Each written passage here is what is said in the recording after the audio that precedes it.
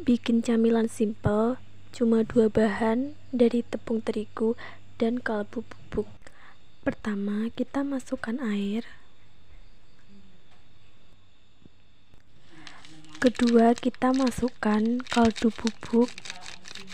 Masak sampai mendidih. Yang ketiga lalu masukkan tepung terigu